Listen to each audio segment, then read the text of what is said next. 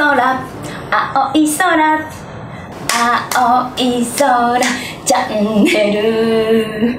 空ちゃん。よろしくお願いします。今日は？青い空現役女優の時のスケジュールを聞きたい。はい。というタイトルで、ほう。ほうほうほうほう。まあなんかむっちゃ忙しかったのかな。どんぐらいのスケジュール感で動いてたのかなっていうなんかあでもあれよ。あの分刻みみたいなことはないよ。一日一個の仕事みたいな感じ。今もうこのタクシー任しあの待たせてるから、うん。すぐはいエレベーターで降りてみたいな。ないないないないあんまない。ただその一日休みみたいなことがなかったから精神的には参ってた。ちなみに今のなんか一日のこうタイムスケジュールじゃないですけどとかと参考いやに今はもう簡単に書けますよ。比較したいんですけど。まあ6時起床です。あ。こんなスケジュールでね起きたことなんかないんです。大体私もうあの子供生まれる前ではもうこの時間に寝てましたからこの時間に。6時に。寝てました。そんな私が6時に起床してるんです。これはですねもう本当子供が起きるから起きてます。あなるほど。絶対6時に。前6時から7時だね。起こされるんですか？もう起こされます。ちなみに今日5時でした。うわ。いやーマジもう一回寝てと思って横でこう寝てたんだけど遊ぼう遊ぼうっつって言われてああもうどこ行くの？みたいな感じでねブロック遊びとかねしてました、はい、ちなみにまあ大体だからもうほんと今日5時とかだから5時から7時の間に起床です。は8時に保育園に送ります。いうん。でこの2時間の間にまあ朝食食べたりもうこう子供たち7時半ぐらいまで寝ることもあるんです。その時はもう私も一緒に寝てます。こうこう送った後に17時に保育園の迎えがあるんです。はい。でここで今仕事をしてます。はい仕事、はいそうですね。まあ、今日だったらもう12時に撮影開始なので、まあ、この間で今 YouTube の撮影をしてるんです、はい。でここはもう家事家事してます。そうっすね。の洗濯とか掃除とかっていう感じです。なるほどなるほど。8時にご飯です。19時半ぐらいにえーとお風呂。お風呂入って8時に消灯。で大体21時ぐらいに寝てくれんの。子供たちが。で21時から24時の間に私の時間がある。3時間。うん、でこの間に、まあ、お風呂自分がお風呂入ったりとかこう明日の保育園の用意したりとかはもうあの子供と一緒に21時ぐらいに寝ちゃうとか、いが今のスケジュール今のスケジ。ュール大体でこれのお仕事してた時バージョンをちょっと今聞きたいんですよ。例えば V の日ね。はい撮影。撮影、はい。10時入りとかだったかな。1時間前ぐらいにお迎えがあるからもうほんと9時起床とかですよ。ここで起床して9時10分には家出てます。どうやって？これそれがあのメイクさんがいるからああそっか向こうに。もう顔洗うだけでいいの。で夜お風呂入ってるから、はそう顔洗うだけで出るって感じ。で車の中でもままた寝ます。い。はそのこう移動ね。いはい。もうほんと9時10分にお迎えが来るっていう感じ。で10時入りしてまあここから1時間半ぐらいがメイクメイク時間なんです。よ、はい。あじゃあ本番が12時から撮りますみたいな。昼間とかに撮ってんすね。夜とか勝手にイメージして 本当？はい。こんな感じ。12時から本番撮りますみたいな。で今って1日で撮ってるみたいなんですけど私の時代は2日間で撮ってた。のうーん。2日間かけて撮ってたから、はい。まあこれがかける2年。はまあ大体すっごい押してやばい時はもう12時超えることもあった。い2日かけて撮るけど1日が12時超えちゃうそうそうそうそうそうそうそう。だから2日間ともそんなスケジュールだった時もあったけど結構 S1 の時はそういうのあんまりなくてセルビデオの方はいそのすごい大変だった。レンタルビデオ時代はすごい大変だった。あのねレンタル時代の時のあの撮影は芝居の撮影が多かった。その絡みとは別のそこまでの導入の部分のはい撮影が多くてだから普通に V シネ撮ってるみたいな。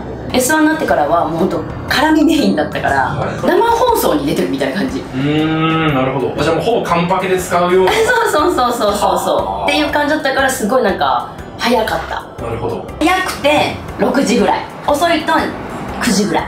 かな。あそれはもう S1 時代ね。はいはじゃあもう9時公平9時9時21時。にし。ても帰って22時でしょ？は寝る準備して多分1時ぐらいに就寝。いやっぱ撮影の日は過密ですね。めちゃめちゃ、うん。はあでも場所が移動したりとかそういうことはないので、まあ単純にもうここがここからここの時間はもう拘束されてますっていう感じ。でなこれがかける2 2日間みたいな。月に1本しか、えっと作品を出せないの。それがなんか契約があるの。決まってるんですか？決まってる。の、はい。それがもう専属契約って言って、はい。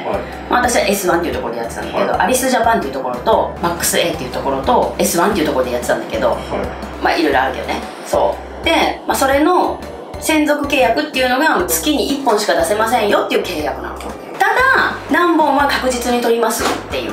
12本は絶対に取りますから。1年間。そう1年間はもう絶対にあもううちのところで取りますので他には出ないでくださいねっていう専属契約。へえだから他のところに出れないしまあでも月1本ずつしか出せないっていう。でもそれを月に2本ずつだ出してる女優さんもいるわけ。っていう契約の人契約の人もいる私はその月に1本の契約の人なるほど。そう撮影は別に月に2本してもいいけど、まあ、大体月1で撮るっていう。のがプラスパッケージの日っていうのがあってパッケージのジャケットあはい。の、えっとさ撮影。パッケージ用の写真を撮る日っていうのがあったの。あ後に撮るんですね撮影の。そう。前もある。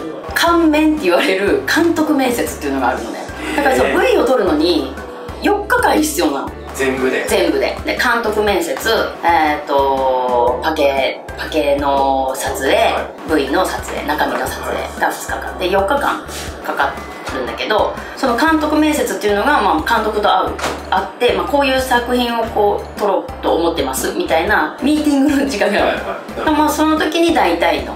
すり合わせて。そうそうそう。もうこういう作品を大きな流れをこう聞くみたいな感じです。なるほど。だからまあ月30日あって4日それではい仕事があるけど、まあ、言っちゃえばその4日だけやっとけば問題なく過ごせるというか。はでもなんかこう私はそのグラビアをやったりとかあのテレビをやったりとか、は他の仕事はいっぱいやってた。あそうかタレント業も同時で一緒そうそうそうそうそう。っていう感じだったかな。そうねデビュー12年の時が一番忙しかったかな。あでもそれはもう自分でこうできるというか。ー女優さんはこのじゃあ撮影の4日間だけお仕事してたらうん。なんでしょう？まあ別に。生活できる？まあ生活できる。だから私が忙しかったのは別に、まあ、事務所がちゃんとあの仕事を受けてくれたっていう感じかな。はいはい大体仕事ある日ってもうこういうスケジュールが多いんだけど。だ例えば雑誌のは撮影とかも大体こんな感じ。いへえまあ6時ぐらいに終わってとかはありますけど雑誌ちょっと早いからその日が落ちたら終わりみたいな。自然光ではい撮るんでみたいな。だから6時ぐらいに終わって雑誌の時はちょっと早く仕事終わるみたいな感じです。なるほど。そうだからそう何個も仕事をこなしてるって感じじゃない。一日に。まあね芸人さんとかだとさそのコントとかその漫才とかでその一個一個こう披露していく場所に行ったりとかするじゃん。はい。それこそで営業とか。あそうそうそうそう営業とか。でプラスその番組に呼ばれてとかで多分すっごい忙しいと思うんだよね。でそれが地方だったりとかになるともうほんと分分刻みで行ったり来たりするっていうのはあると思うんですけど。そのタレント活動とかうん。をプラスでしてなかったら他の女優さんとかと会う時って本当ないっすね。ないです。撮影だけしてること。ないんですないんです。なんか1ヶ月のスケジュール聞こうかなと思ったんですが、うん。あれですよね。分刻みじゃない。そうなの。だから1ヶ月で考えるとまあ週1オフがあるかなぐらいの感じ。例えば1時にあえー、とインタビューってかとかだけだと2時間ぐらい稼働2時間みたいな。はい。インタビュー1時間ですみたいなぐらいの仕事の日もあるの。なるほど。丸1日仕事じゃないけどちょっと緩いじゃん、うん。1時間しか仕事してませんみたいな時もある。一番忙しかった時は丸1日休みだったのが二十何日なかったみたいな。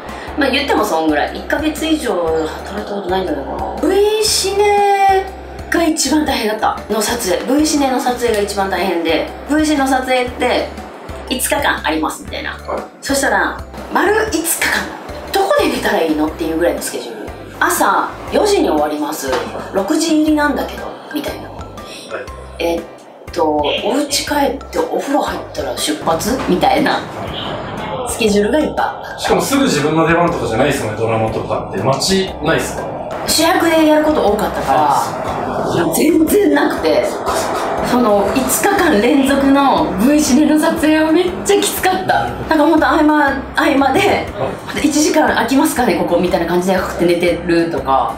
ほんといあの移動の時に寝るとかっていうのが多かったかもこれのこれがその現役時代のさスケジュールだったわけ。こっから私あの中国に行ってるんですよ。うんはいそうで中国に半年住んでたんですよ。あじゃあ半年中国に半年日本に半年住むっていう生活を、はい。えー、と5年続けたの。5年間。はその時の忙しさもまた違う忙しさで年明けてから4ヶ月ぐらい経った時に日本の自分の家で寝た回数が5日間ぐらいしかなかった時あったの。4ヶ月で、いはい。え？その中国にまあ半分行ったりとかしてるんだけどそれプラス海外で行ったりとか、はい違う海外ね他の中国じゃないところ行ったりとかであれ？みたいな全然日本で寝てないこの家賃超もったいないみたいな思った時があった。それはそれで忙しかった。その話もじゃあ今度中国版っていうか海外活動編そうね。聞かせてもらってもいいですか、でもねちょっとねスケジュール感ちょっとわかんないけど。はい。なんとなくね。うん。チャンネル登録してね